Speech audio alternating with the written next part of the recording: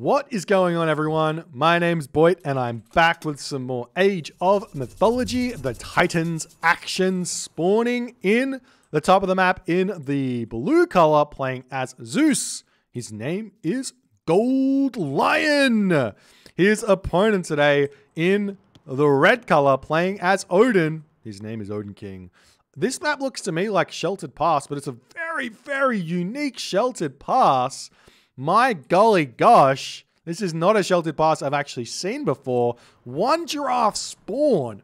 Man, man, that's a tough one. That changes everything for the Zeus player. We'll talk about it a little bit later. This is the um, the Oceanus division. We're going to be calling this for the challenges, the Challengers league, the group of death. Everyone in this, basically everyone in this group is is an 1800 level player at the very least. They're all very, very, very strong, uh, and it's going to be anyone's division. In all honesty, anyone can take this division. It's going to be up to some really, really high quality play in the end. We'll have to wait and see how it's all going to go. But very excited to see this uh, this division and how it's all going to shape up and who's going to be able to stand up to the pressure uh, as the villagers finish up there on those giraffe. Going to be moving on to the next location there. But now, Zeus versus Odin. Now, what is weird about this map? Why, why is this map weird? Why is one giraffe a weird spawn? Well, the answer is that the only other map that has that there is no other map with this amount of low spawn. This isn't a water map. So you have like Midgard, or Mirage have a potential of having only 300 hunt or zero hunt, right? But this map with 300 hunt doesn't exist. So players needing to have a or wanting to have some sort of specific build order here they want to ex- execute, they just don't have it. Uh, and what does this make? Why is this a problem here for Zeus? And why is the why, why is it a problem? Well, the reason it's a problem is that Zeus players want to leave villages in their main base in the classical age so they don't have to have a considerable amount of walking time to move over to their secondary wood or, or onto their wood line, right? So having to walk all the way forward here and grab these and start eating these rhinoceros is with all of their villages in the in the archaic age is a really really big commitment. As we see a house coming down here for Gold Lion. He has forgotten his house, unfortunately, here in a little bit of disarray here, starting this game off. And the temple now going to start coming up. Definitely don't need both of his villages on that one, but we'll see how things are going to go. He might be going for Centaur here, Hermes style. Uh, Odin King here has got a back gold line. Playing as Odin here, having I feel like he really wasted his um his great hunt there on that on that giraffe. You know that there's a pack of zebra somewhere. You know that there's a, uh, a pack of rhinoceros. So you know at the very least you're going to be able to get 500 food from the rhinoceros. You're probably going to be able to get your full 750 food or 600 food from the from the zebra if you save it from that. And you've also got giraffe in the middle that you can get 600 food from as well. So I feel like Odin King kind of wasted his great hunt a little bit there. But he's now out on his secondary hunt. He's uh, he had didn't have to walk too far. He's having a fun fun starting uh, starting point here. No weaknesses there for Odin, uh, given a 300 food start. As the Jason popping out here for Gold Lion. It looks like Gold Lion's going to go for a, a slightly later advance time here than he otherwise would have liked for 45 or a 454 advance time. Seems to be well, he's, he's late. He's late on the village because he was housed. Uh, seems to be the aim here for Gold Lion, maybe a five minute advance time, very, very late. Now, if you do go for a late advance time here with Zeus, it's not game over. There is a build that was um, popularized back in like 2006 by uh, by a player called AOM King, one of the one of the best Zeus players kind of of all time, uh, and that was a 5:15 advance time. And the idea of this build was that uh, you can get yourself hand axe, pickaxe, husbandry, uh, and get yourself two military academies and two archery academies out. So if you do end up finding yourself having a really, really bad early game, you can just throw down four military buildings straight away when you hit the classical age. And you just have to remember that your early game is less strong. So you have to wait a little bit to attack uh, to find any sort of advantage early. Uh, So you're basically aiming for kind of a later pressure point with that build. And we'll see if uh, uh if Gold Lion is going to go for something similar to that. If we take a look at his economic upgrades, doesn't yet have anything. He, this is something I don't like. So one of the big, big reasons or big, big advantages of advancing late in a game is that you can afford to get your upgrades. And why do you want to get your upgrades? Because it gives you more resources. So if you can't spend them on anything else, you may as well get your upgrades. Because right now, having at the very least having husbandry, but pickaxe, hand axe right now could be afforded. We start seeing military buildings coming down, archery range, military academy, just the two. This is showing some inexperience from Gold Lion's behalf here. He's got a lot of resources in the bank he's going to be wanting to spend. Obviously, he could get himself out an extra Minotaur here, which he is going to be going for, uh, but definitely could be dropping more military buildings there as well, as we do see the bolt there onto the Valkyrie. Odin King in his main base is getting himself out some raiding cavalry here. And we'll see how things are going to go as the Raven comes over here, sees the villagers. Forest Fire gets dropped. Odin King seems like he's almost getting a villager kill there. Almost loses it. The villagers will have to move. They've got a forward spot over here. They've got a spot over here as well. No real problems where that's concerned. There's another military academy going to getting, be getting dropped there as well. So three military buildings here for Gold Lion little bit uh, a little bit on the low side of things. He has maybe a few too many villagers on the food here because he didn't want to pull back. So maybe a couple more, maybe another military building wouldn't actually go astray, or even a villager on favor to continue making um, to continue making minotaurs there as the raiding cavalry coming through. You're going to start getting a little bit of damage here onto this Jason early as the units are starting to flow through. And Odin King now knows exactly what he's facing. There's not really a whole bunch of different options that he can be facing, but that's a lot of units out for Gold Lion. He's still floating resources here. Needs to make sure he stays on top of building his house. It's currently housed here with a, a villager here that will pop out, but he will definitely be needing a house very, very shortly. After that, Gold Lion will be able to move forward grab these giraffe in the middle of the map as the units coming through. 45 population for Gold Lion, 50, 60 population for, for Odin King. He's spending his resources really, really well here in this game as the villagers simply move forward onto this granary here. Houses coming down now for, uh, for Gold Lion as the walls coming up over here as well to prevent any sort of raids coming through. I love this play here from Odin uh, from Gold Lion. These walls preventing raids, grabbing the uh, the giraffe in the middle of the map here. This is going to be huge. Uh, two two raiding cavalry running around. This isn't going to be doing anything here, and they're actually going to get kind of caught out as the walls get shot up here. Uh, the raiding the raiding cavalry might be able to snipe down some units here or break down these walls here as they they do come through. But I like this play from uh, from Gold Lion. Just taking it slowly. There is a, a kind of a hard counter to taking it slowly for the zoo for, for, from the perspective of the Odin King. If the Zeus play does take it slowly, it does mean that Odin King and Odin in general will be able to get themselves quite a bit of hunt out. But we do see that Odin King's decided he has to sit back in his base right now. All the pressure here is, is kind of mounted. He's made himself how many Hersir? Seven Hersir at this point. And, and basically now he's throwing up an armory and he's going to be looking to try and rush the next age here. He's got houses around his towers. He doesn't have any throwing axemen out just yet, which I think is a, a bit of a mistake. He has pulled basically every villager off of wood at this point. As the raiding cavalry coming back in onto this position here, the villagers here will have to start fighting this one as, as Odin King does see a low HP villager snipes that one. The villagers turning around, taking this fight here as well as the raiding cavalry still searching around there in the main base of Gold Lion. As Gold Lion is now starting to move forward here, uh, the, the spidey senses are, are tingling as the units are going to start trying to bash down this watchtower in this position as the Hersir come through over here to try and defend this one as the watchtowers getting some good damage done uh, onto the units here. And Gold Lion has to retreat back as the villagers here finally able to start getting back to work. As I mean, here's the thing Gold Lion doesn't really need to be on this hunt right now. He could be over here, being completely safe with these walls. But I feel like being on this hunt is a good thing. Gold Lion maybe just keep on throwing military buildings here. There's really only one play here for for Gold Lion. He could try and get Heroic Age, but I think the right play here for, for Gold Lion is just to continue putting military buildings down, continue to stay in the Classical Age, and just put everything in to stopping this gold mine from getting grabbed. We see the hoplites scouting around trying to find where all the gold mines are. These two uh, raiding cavalry getting chased around by one lone hoplite. It's a good play there, in all honesty, as the house is still coming up. Gold Lion's still not up to full population. It's nine minutes into the game here. Skadi has been clicked up by Odin King, and he's got himself about 600, 700 gold left in the gold mine there. So he should be able to get up to full population. But Gold Lion still has restoration here. And so long as Gold Lion puts down some more military buildings, especially on this location, he should be able to prevent Odin, Odin King from getting a second gold mine. That's my prediction here. Now we'll see if it's going to uh, shape up or not. As Odin King is getting himself medium infantry, starting to make some throwing axemen, another longhouse coming down.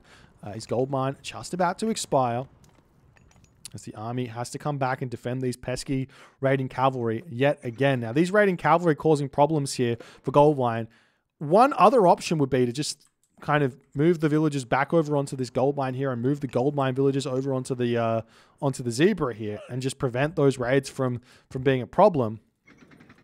But he's uh, Gold Lion not really thinking about that just yet, and we still don't have any upgrades here for Gold Lion just yet. He could get himself his medium Toxotes as the army starting to move out here. A very risky move here from Odin King is dropping a dropping a, a, hill fort on this gold mine. As the home gold mine just about expired here as the hoplites starting to rush through he wants to force a defensive frost here take this fight as soon as he possibly can as the toxotes started to target down these units over here. The hoplites come back onto this position to target down those raiding cavalry. Good micro there from Gold Lion. Odin king's units here not really doing a whole lot at this moment here as the Hersir coming in. Now you do have to remember the Hersir get that upgrade immediately when they hit the uh, heroic age, they start becoming basically heavy Hersir if you were to apply that uh, kind of any sort of similarity to them. So these are unupgraded hoplites versus heavy, basically heavy infantry in terms of the Hersir extra bonus HP. Uh, but the gold mine is expired. The units here of Odin King to start moving out onto this position here. There's more units coming through. And now is definitely a position where Gold Lion, he really does not need to care about this food anymore. Even losing those villages, not going to matter. He needs to, wait, he does spot the villagers moving over onto that position. So now we will be seeing Gold Lion making a maneuver up onto that top location here. Frost will have to be used. Rime coming through here for Odin King as his army starts moving in onto this position.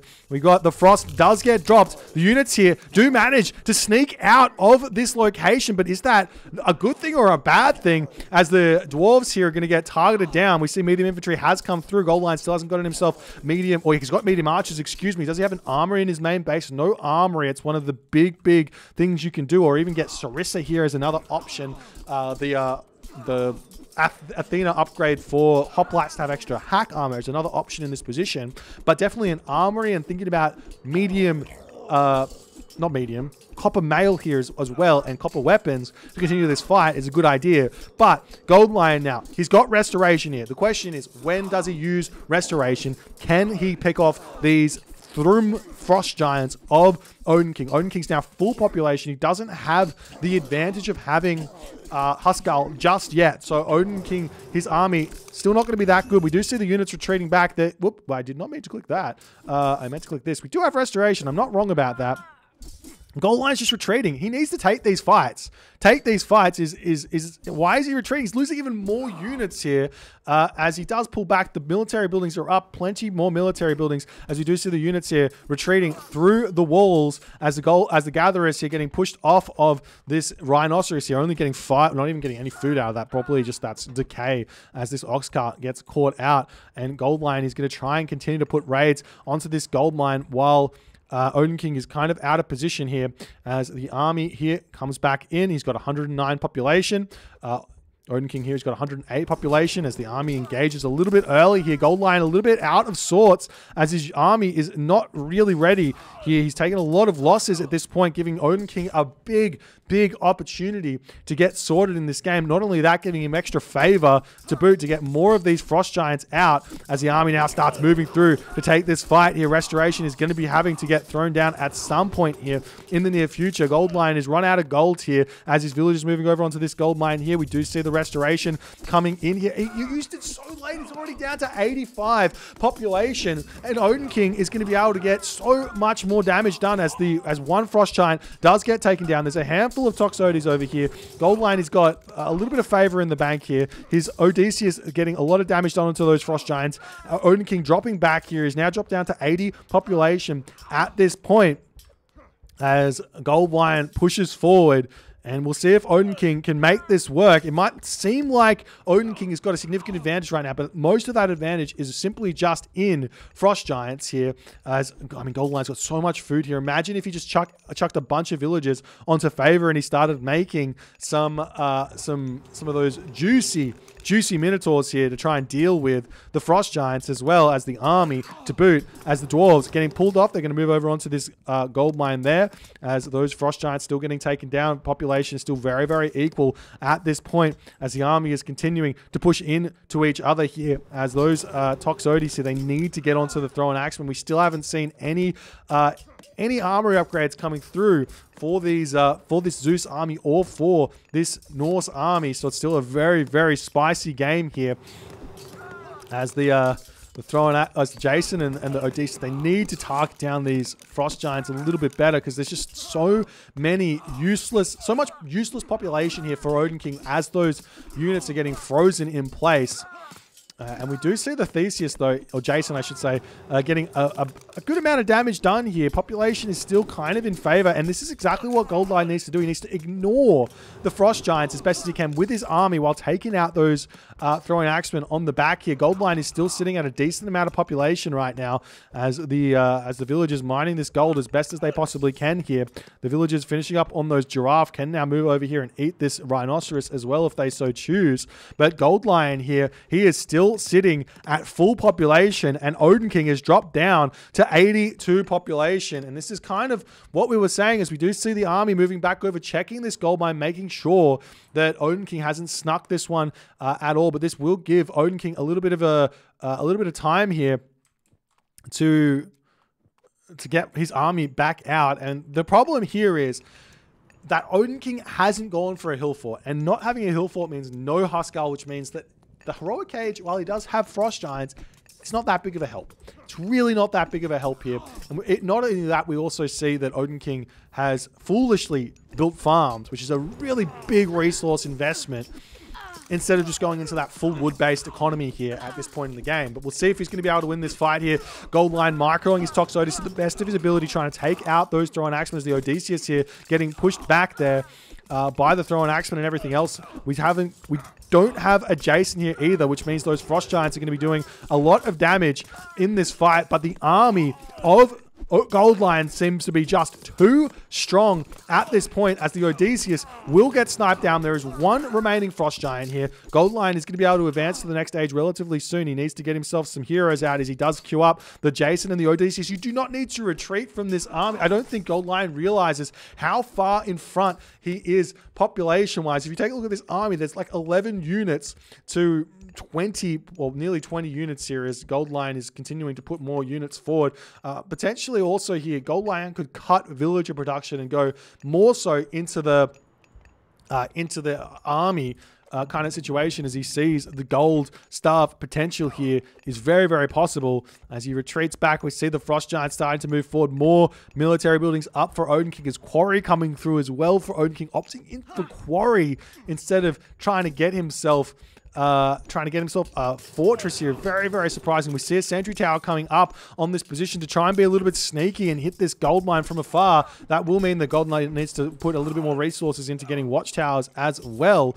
Uh, but that's going to be a problem here for Odin King because this this watchtower will secure the gold mine as a hill fort is now going to get queued up here. But will uh, Gold Lion be allowing this or not is the big question. Olympic parentage going to be coming in. Gold Lion will be able to go to the next stage very, very shortly here as the watchtowers is coming through. Another wall going to be coming in onto this position here as the uh, hoplites come through. The Toxote is going to try and take this one out. Odysseus coming through here as well. Gold Lion still doesn't have the gold to get to the uh, to get to the heroic age here.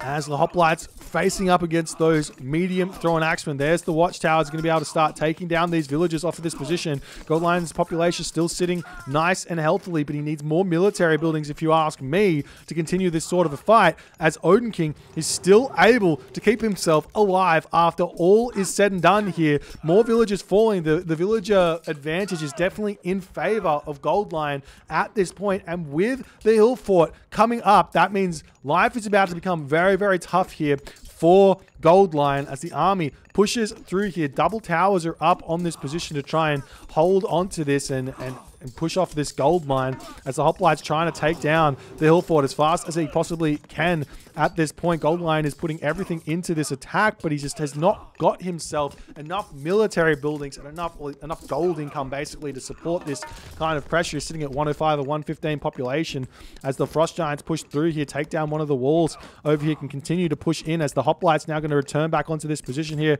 trying to take out the hill fort. The Throwing Axemen are in position to defend this as Gold Lion is doing a nice nice job defending it nonetheless. The Toxotes push forward trying to take out that Oxcart though. Uh, the Oxcart does have 40% um, pierce armor.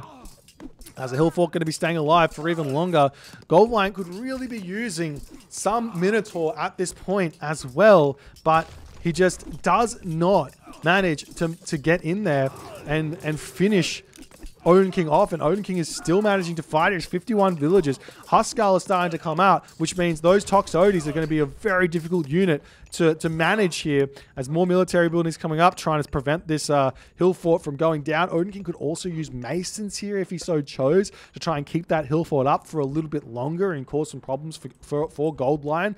Gold Lion's still not in that next age. Another option here against the uh, against the Frost Giants, which I have seen work, is actually Mass Hydra, funnily enough. While the Frost Giants can freeze those Hydra, it means that they're kind of preoccupied in the fight and it allows your heroes to take them out while they're trying to deal with the the the, Scar, uh, the Hydra, and then the Hydra also really really strong against the Norse army. Nonetheless, once those uh, Frost Giants start getting taken down, but Gold he's still not able to push in here and actually finish Odin King off. And Odin King he's actually taking good trades here. He's about to get himself heavy infantry at this point as the Hill Fort is trying to get torn down yet again, staying alive at 500 HP basically there as the Frost Giants coming back through. Heavy Throwing Axeman now starting to be a relatively decent unit to trade against medium Toxotes here. Still no, uh, still no Copper Mail here for Gold Lion either.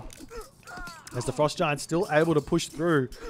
And Gold Lion is trying to put up some more towers here to hold on. But he's just not able to get through Odin King's defenses in this game here as the throwing axeman able to take down the hoplites incredibly easily.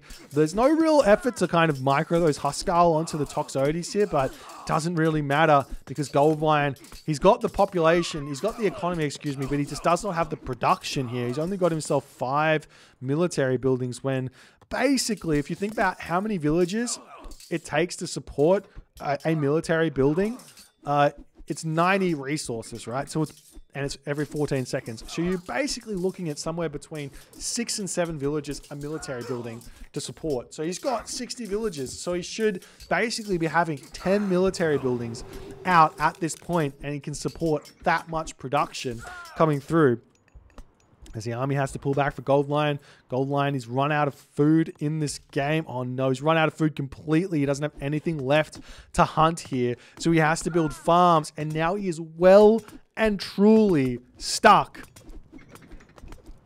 Well and truly stuck in the classical age as Odin King has managed to keep himself well and truly alive in this game. We'll see what he's going to go for. He's grabbing himself a town center now with just one throwing axeman, a hill fort up on this gold mine to secure that next gold mine, making sure that gold lion can't grab that one. Gold lion decided to go for a 21 minute uh, second town center here as well. While still in the classical age, obviously, it's, going to take him a while to uh, to sort this out. And for that entire time here, Odin King hasn't had plow but he's also going to be getting himself plow and winter harvest at the same time here, which means he's going to be getting a huge amount of economy to come in.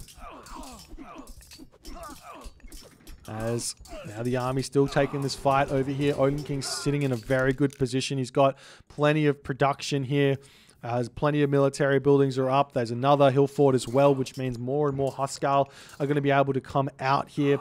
Copper weapons coming through for Odin King as well. It should be a big, big help. Plenty of wood in the bank for him to spam down some more farms potentially over there as these villagers need to kind of maybe sort that out which which wood line they're chopping here as the market going to come down. There we go. Farms come up immediately on that location there as well as Odin King going to be pulling back. Odin King is he's in a commanding position here. You can see the score differential. That's a score differential in terms of kill loss, in terms of economy, in terms of tech. Every single metric in this game apart from town centers, he's in front of. In town centers, he's just equal. As we do see, uh, Stray Jarl does come through here. It's going to get denied where that's concerned.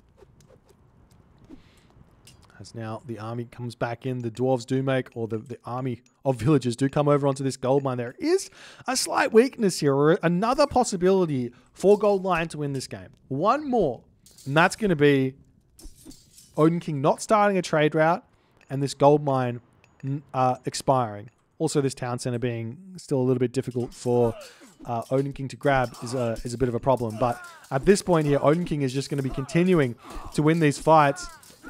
Well, actually, at this point, he doesn't really have the population here, but we'll see if he's going to be able to win these fights nonetheless. Look at these Huskarl. 10.4 damage, plus 100% da bonus damage. So they're doing 20 20 damage, nearly 21 damage against these Toxotes. And the Toxotes have got no hack armor basically at only 15%. So much damage that these Toxotes suffer. And they've got no HP as well to boot. So they basically just they just die so quickly to the Huskarl. As Odin King deals with that army, but he's retreating back yet again as he's trying to throw down some more military buildings to get some more units out. Feeling like he needs a little bit more uh, a little bit more economy here or not economy, but a little bit more stuff to boot. He's now starting to make the Odin Kings, uh, not the Odin Kings, the uh, the camel, the ox caravans for Odin King here are coming out as Odin King now ready to start pushing forward. He's now 130, a 130 population.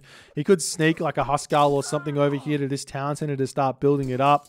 We do see that Gold Lion is eating some berries on this position as well to help him out, but you just see the Gold Lion, his army, he just cannot fight this. He's at 75 villages. This is something we've seen time and time again. Norse against Zeus. Norse gets the advantages in the heroic age. That's why Norse wants to rush heroic age against the Athena rush. And then the Zeus player tries to get a gold star. and then the, the Norse player just barely, barely holds on. And everything goes downhill from there as the army pushes through. Gold Lion sitting at 92 of 130 population.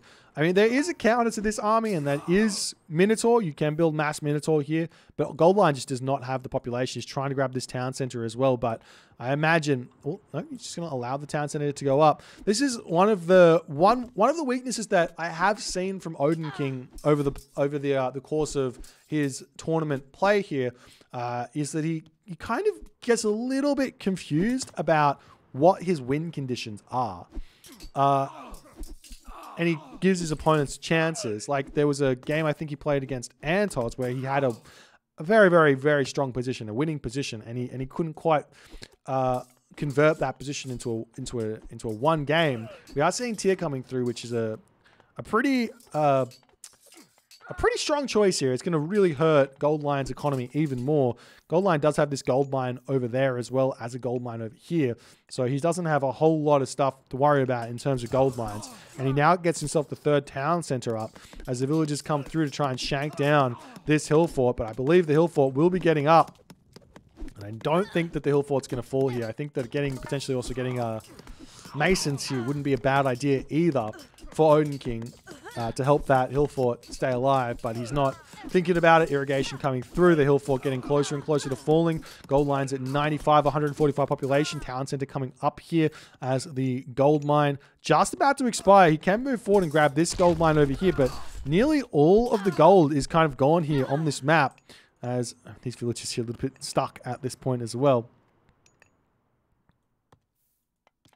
So that's a lot of walls. oh dear. Uh, but Fimbulwinter about to come through, and I imagine Gold Lion, once he gets hit with the Fimbulwinter, might decide to uh, to tap out here in this game. Fimbulwinter can be a pretty uh, pretty difficult thing to deal with. As you see the Mythic Age come through, Fimbulwinter gets cast. This town center gets hit. This town center gets hit. This town center also gets hit. The gold villages, they are mining on this gold mine over here, though, as Odin King is allowing that for the time being. As Wall's attempting to come back up through here as well. We see Ulfsark coming in with champion infantry. Odin King can also get Berserker Gang out straight away as well, which makes the Ulfsark effectively just as good as a, a Hoplite. I mean, look at the, I mean, better than a Hoplite. 100 HP, 12.6 damage at this point. These Hoplites do 8.8 damage at 126 HP. These Ulfs are going to start tearing things up here. Bronze Mail Carpenter's coming through for Odin King as well. He's getting all of his upgrades.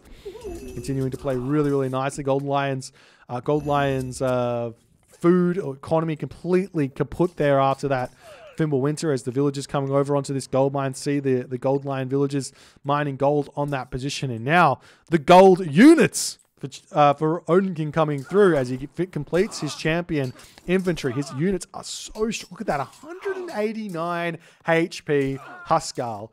Absolutely insane. They've got more HP than the, than the Hoplite.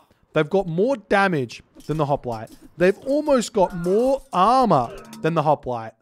They're just such a stronger unit. You could you could win this army competition with pure Huskarl, and there's nothing that Gold Lion could do there as he does decide to tap out in that stage. And Odin King claims game number one.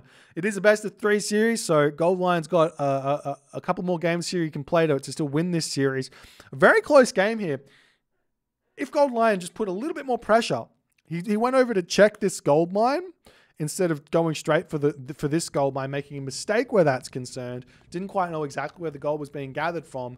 Uh, he could have won the game straight there, uh, straight then and there, if you ask me, but uh, couldn't quite make it work here. Also, simply just putting down some more military buildings or going in with some Minotaurs here would have been another way forward here for Gold Lion, but he just could not make it work.